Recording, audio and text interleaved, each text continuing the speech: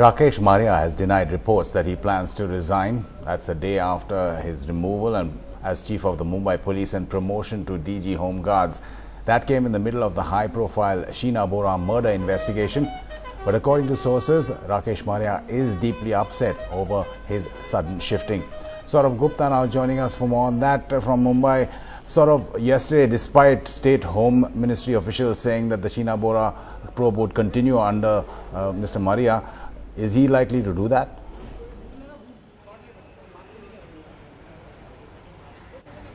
Well, uh, for those of us who've covered crime, uh, Mr. Maria is an officer who's never actually gone back to any posting that he's left. So, in a way, if he takes over this investigation, which the government of Maharashtra has only said in an oral order, mind you, it's not a written order that has been received by his office yet.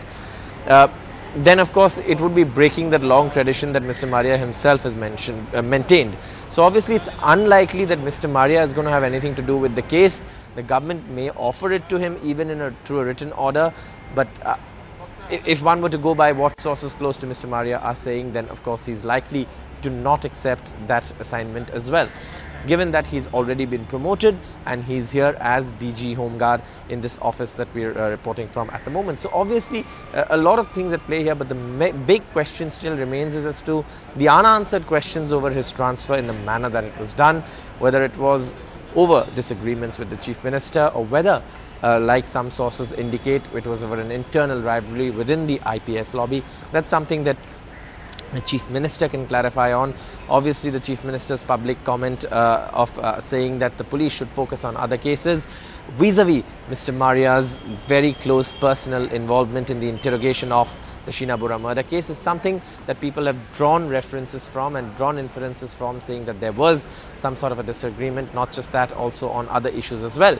So obviously there are a lot of questions, the way, the manner the government has gone about this, transferring an officer who's due for promotion just 20 days before he is due, and of course upgrading the Commissioner of Police's post in spite of giving an undertaking to a court many years back that they wouldn't do it.